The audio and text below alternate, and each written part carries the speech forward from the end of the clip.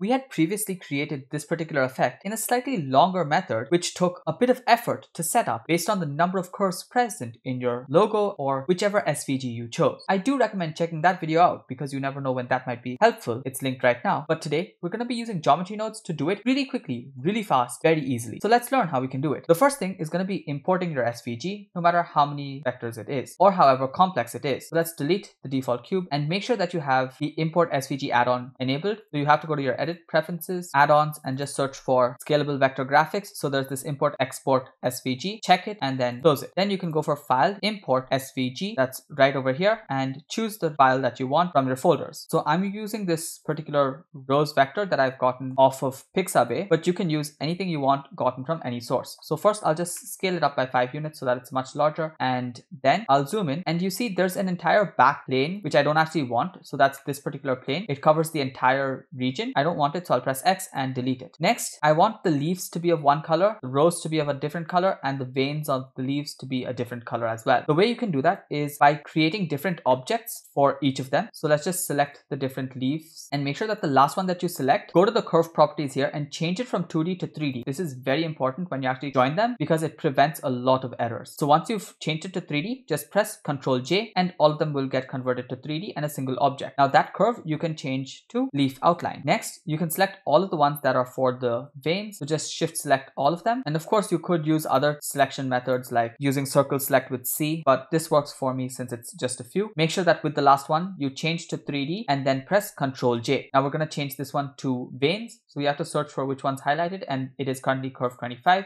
We'll change this to veins and then we'll select all of the rose ones. So just box select them, select the ones that didn't get selected. The last one that you selected, change it to 3D and then press Ctrl J. And now you can change this name to rose. And it seems like we've left out one single curve, which is actually a part of the veins. So let's shift select the veins and press Ctrl J. And there we are done. Now let's go ahead and create the geometry node section. So let's select the rose, bring our cursor to the junction of these two windows, click and drag to create a new window, and then change this from the 3D viewport to the geometry node editor. Then press this plus button to create a new geometry and the process is really simple. Since this is already a curve, all we have to do is resample it by searching for a resample curve node so that we can set the actual resolution. We'll keep it at something fairly high, maybe 500 and make sure that you change the resolution here as well to the same amount. So let's go with 500 so that it's really smooth. Now this doesn't have to be 500 but I think 500 mostly covers all of the curves. Then we want to use a trim curve node to actually create the animation that we keyframed last time manually and now after the trim curve node we want this to actually have some geometry so I'll press shift and search for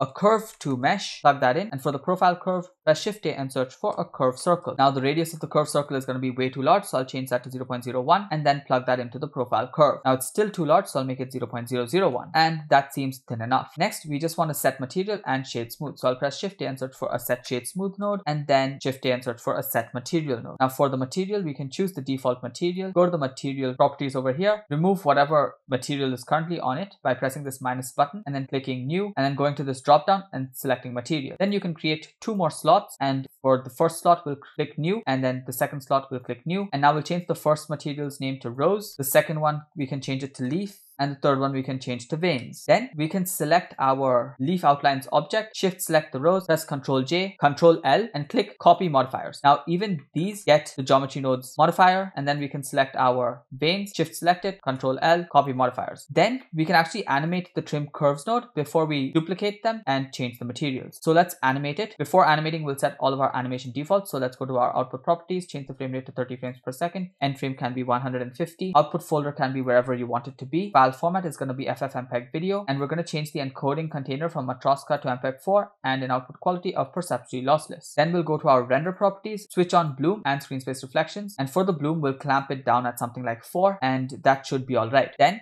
maybe around frame 10 we'll have all of these curves to start appearing. So till then we'll have the start value all the way at 1 which means all of them are going to be invisible. Then we'll press I and then we'll go down to maybe frame 120 or let's say 125 and then change this all the way down to 0 and then press I. And right now the default is Bezier which means it's going to start slow, it's going to speed up in the middle and it's going to end slow as well. And I think that's alright for my animation. Of course you can make it linear if you want but I'll leave it like this for now. And essentially all the curves should come in. So now we have to actually copy the modifiers and change the material. So let's first select the leaf outlines, press this button to make it its own geometry node tree and then change this from rose to leaf. Then let's select our veins. Again press this button and then change it from rose to veins. And once you've done that, you can start off with the scene setup and the materials. So for the scene setup, we'll first select our default light and press X to delete it because we don't necessarily require it. However, you can keep it for lighting up the background if you want to do so. Then we'll press Shift A, Mesh and scale it up to act as our background. And we'll also just move it down by a little bit so that the reflections are really nice. So just press GZ and bring it down by a little bit. Doesn't have to be too much. Then we'll go to our world properties, change the color down all the way to black and we'll go to our pop icons over here and change the viewport shading to rendered. Then we'll select our background plane, add in a new material by going to our material properties over here and pressing this new button and we'll change the name to background. Then we'll change this from the geometry node editor to the shader editor. Now for the background, we'll first convert this to a complete metallic color and we'll reduce the base color as well to something fairly dark or we can keep it really bright. It's all right. We'll just hide the light for now. Then we'll select our rose we'll remove the principal BSDF by pressing X and then pressing shift A and searching for an emission node plugging that into the surface. So right now we have veins selected. So we're working with the veins material. When we plug it into the surface we have to give it the material for our veins which is going to be a greenish color. And we're going to increase the strength to something like 10 and that's all right. Then we'll select the leaf select the principal BSDF press X delete it press shift A and search for an emission node plug that into the surface and this time I'm going to change the color to maybe a lemon greenish color and I'm going to increase the strength to 10 again. Then I'm going to select the rose material over here, delete the principal BSDF by selecting and pressing delete and then searching for an emission node, plugging that in and changing the color to a pinkish color and increasing the strength to something like 100. Then we can switch off overlays to see what we have. I think I'm going to change the leaf to make it a little more greenish and that seems alright. Then finally for the plane, which is our background, I'll play around with the roughness by searching for a Voronoi texture node and simply plugging the color into the roughness. And that way we should be able to see some reflections with some texture. But the texture is too large so I'll increase the scale. And now we see the texture behind it. Now if we go to a direct top-down view you won't be able to see it. But if you press Ctrl Alt 0 to snap your camera to view then select the camera change the focal length down to something like 18 and then go to the object properties and just